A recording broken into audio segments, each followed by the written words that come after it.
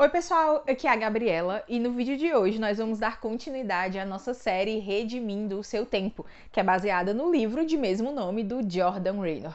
Aqui nós falamos sobre produtividade, sobre gerenciamento de tempo e como é que a gente faz tudo isso para a glória de Deus na vida corrida que eu sei que você tem. Mas antes de começar o assunto do vídeo, já se inscreve aqui no canal, deixa um gostei e também compartilha esse vídeo com pessoas que você sabem que podem ser edificadas, que podem gostar desse conteúdo de gerenciamento de tempo e também que gostam de livros, né? Aqui nós temos vídeo toda semana sobre esses assuntos. Só mais um aviso antes da gente começar o nosso vídeo vídeo. Uh, eu tô me recuperando de uma gripe, então vocês vão ver aí minha voz falhando, subindo e descendo aí no decorrer do vídeo, mas estamos aqui é, quase recuperados aqui em casa e também tá chovendo. Talvez vocês ouçam barulho aí de chuva no fundo. O tema do vídeo de hoje é o capítulo 5 que se chama Aceite a sua unipresença. E é interessante que eu lendo o livro em inglês, né? Esse aqui é a versão em português, lindíssima. Uh, eu lendo o livro em inglês e eu, unipresence, aí eu lendo, lendo, lendo. Aí depois que eu percebi, nossa, não é onipresença, é unipresença. e o que que o autor vai falar nesse capítulo? Ele diz que nós precisamos de uma vez por todas aceitar que nós não somos multitarefa, aceitar que nós não somos Deus, que nós não estamos em todo lugar ao mesmo tempo.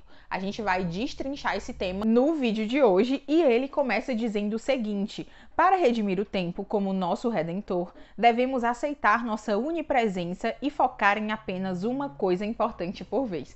É interessante que os nossos celulares fazem muita coisa ao mesmo tempo e a gente acha que nós também podemos fazer isso. E o autor diz que quanto antes nós pararmos de lutar, né, contra a nossa unipresença, melhor vai ser o nosso trabalho.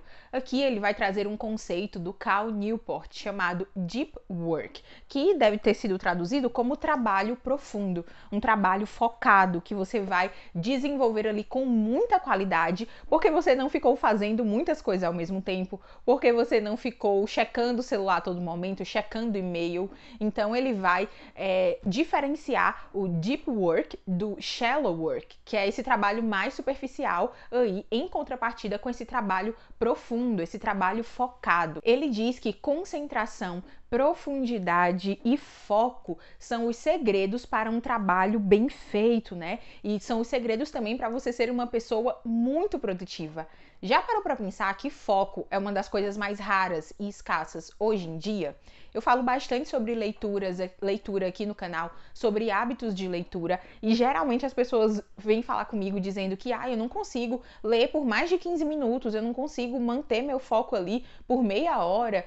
E o foco é realmente uma coisa, como eu disse, muito escassa hoje em dia, porque a nossa atenção está constantemente sendo disputada. Então, as redes sociais brigam pela nossa atenção, os publicitários brigam pela nossa atenção, o entretenimento, a correria do dia a dia mesmo. Então, nesse mundo de distrações que nos impele sempre a fazer um trabalho mais superficial, a ficarmos correndo de uma tarefa para outra sem fazer bem feito nenhuma delas, o Jordan Raynor nos chama a focar, a exercitar o músculo do foco, porque ele diz que o foco é como se fosse um músculo.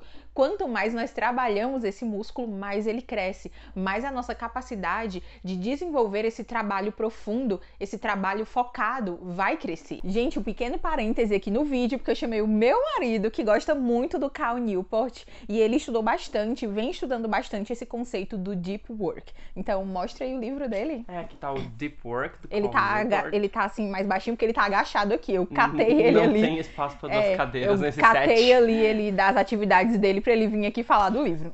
E é um livro muito interessante porque ele fala sobre a importância de se concentrar para fazer um bom trabalho e não focar tanto na quantidade, mas na qualidade do seu trabalho. Porque pouco adianta você fazer muita coisa que não é tão boa assim, quando o que vai marcar a sua carreira são bons trabalhos feitos com cuidado e com o tempo necessário. Massa. Então, tem esse livrão aqui, ele tá escrevendo um outro chamado Deep Life, né? É, ele acabou de assinar os contratos, parece. Olha, então vai sair mais livros. E o Jordan Raynor se baseou bastante nesses conceitos aqui do, do Cal Newport. Inclusive, ele é, endossa o livro aqui do Jordan Reynolds. Então, bem interessante, caso você queira ir mais a fundo, né? A gente fala de profundidade, deep work. Se você quiser ir mais a fundo nesse tema, esse aqui é um livro muito bom, que eu ainda não li, mas meu marido fala muito comigo sobre ele. E aí você deve estar dizendo: "Massa, eu queria ser focado, fazer um trabalho mais focado, mas eu vivo numa correria cheia de distrações. E aí, o que que eu faço?" O Jordan Raynor, ele traz aqui alguns inimigos dessa, desse trabalho profundo. Mais na frente a gente vai falar também que essa profundidade nós devemos buscá-la não apenas no trabalho, no nosso trabalho externo, mas também na nossa casa e principalmente na nossa casa, porque nós precisamos dar nossa total atenção àqueles da nossa família, aqueles mais próximos de nós. Já parou para pensar, e eu já tô adiantando o conteúdo aqui mais para frente do capítulo, mas já parou para pensar que muitas vezes a gente ali em reuniões de família, às vezes sentados à mesa, a gente fica no celular, ou então a gente nem come todo mundo junto, cada um tá assistindo sua série preferida enquanto come.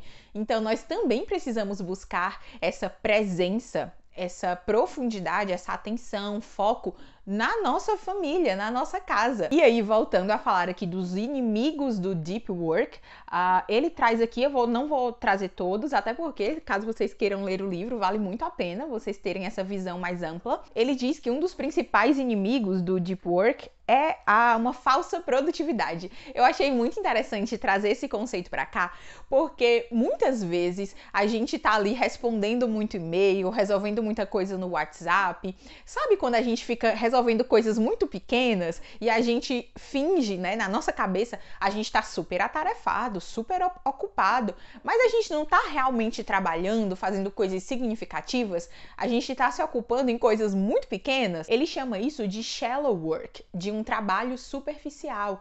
E ele diz por que, que a gente é tão tentado a passar o dia fazendo esse trabalho superficial, essas coisinhas que a gente vai aqui e acolá fazendo e não dá atenção ao trabalho profundo mesmo. Sabe quando você tem alguma coisa muito importante para fazer e aí você fica postergando fazer essa coisa, é, perdendo tempo com coisas muito menores? Então você tem a ilusão de que você está trabalhando, mas você está deixando o trabalho de verdade para depois. Quem sabe você nem vai conseguir fazer um trabalho bom mesmo, porque você está muito ocupado com esse trabalho superficial.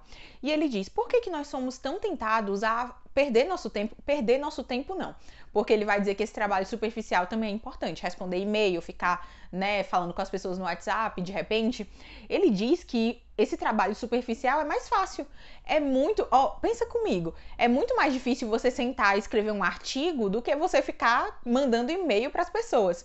Então, ele diz que esse trabalho superficial nos faz pensar, né, nos sentirmos produtivos sem fazer um esforço significativo, sem trabalhar de verdade. E por que que isso é um problema, principalmente para nós cristãos? Ele diz que nossa configuração de fábrica é a preguiça. Nós somos muito tentados a sermos preguiçosos, a fazermos as coisas de qualquer jeito. Então, se a gente finge né, essa produtividade, se a gente vive nessa falsa produtividade de ficar fazendo muita coisa pequenininha e não focar no trabalho que realmente importa, nós estamos cedendo à preguiça e à mentira, porque a gente está se enganando e enganando as pessoas dizendo que nós somos muito produtivos, quando na verdade nós estamos deixando o trabalho realmente importante de lado. Um outro outro inimigo desse trabalho significativo e profundo, ele chama aqui desse complexo de Salvador. Isso é muito interessante, gente, porque mexe com o nosso ego. Às vezes a gente ama dizer que tá muito ocupado. Ai, tu tem tempo para, vamos ali, né, fazer uma coisa, dar um rolê no final de semana. Ai, eu tô muito ocupada. Tu nem imagina, eu tenho muita coisa para fazer, né? Ai, como eu sou uma pessoa ocupada. Então, muitas vezes a gente ama, enche a boca para dizer que a gente não tem tempo para nada. E ele diz que isso nos faz, faz com que nós nos sintamos necessários. Parece que as pessoas precisam da gente nós estamos muito ocupados porque nós somos muito requisitados. E ele diz que isso pode esconder aí um problema de ego, um problema de achar que, olha, sem você o mundo vai parar de girar, as coisas não vão caminhar mais. Então ele diz que nós precisamos abraçar mesmo nossa finitude, nossas limitações. E por isso que esse é um livro muito interessante, sabe? Porque ele não vai te dizer apenas Faça, faça, faça. Ele vai dizer: abrace sua finitude, abrace sua unipresença, né? Abrace sua capacidade de fazer apenas uma coisa por vez. E isso não é necessariamente uma coisa ruim. Você pode focar nessa uma coisa por vez e fazer um trabalho realmente significante, um trabalho focado e de muita qualidade. Ele finaliza falando da questão de, desse, desse, dessa profundidade em casa, né? Dizendo que aquilo que eu falei com vocês, não adianta nada você ser focado, produtivo, profundo no trabalho e ser uma pessoa completamente dispersa e distraída em casa. Então, tudo que ele coloca aqui, ele diz: volte para o seu trabalho, né? Volte essa, essa sua faceta produtiva, profunda para o seu trabalho, mas também para a sua casa, para a sua família. É isso, pessoal. Eu espero que vocês tenham gostado do nosso quinto vídeo da série Redimindo o Seu Tempo. Nós estamos quase no fim, só faltam mais dois capítulos e, consequentemente, mais dois vídeos aqui dessa série. Me contem aqui embaixo o que, que vocês fazem, né, para focar, para ter tempos ali de profundidade, para conseguir fazer aquilo que vocês precisam fazer com muita qualidade. Afinal, nós somos chamados a dar o nosso melhor para a glória de Deus e para o bem dos outros, como o autor muito bem coloca durante todo esse livro. Nós não fomos chamados para fazer trabalhos superficiais e mal feitos. Nós devemos fazer tudo como se nós estivéssemos fazendo para o Senhor, porque de fato nós estamos fazendo para Ele. Comenta aqui o que, que você usa, quais são as ferramentas né, que você usa, as práticas para fazer esse trabalho focado e de qualidade. Não se esquece de se inscrever aqui no canal, de curtir esse vídeo. Aqui embaixo você encontra os links para o livro, né, em português. Acho que eu vou deixar em inglês também, caso você queira treinar aí o seu inglês. Lembrando que comprando qualquer coisa, eu vou deixar o link da Amazon também aqui por esse link, você me ajuda a continuar produzindo conteúdo semanalmente aqui no YouTube. Até o próximo vídeo, Deus abençoe vocês!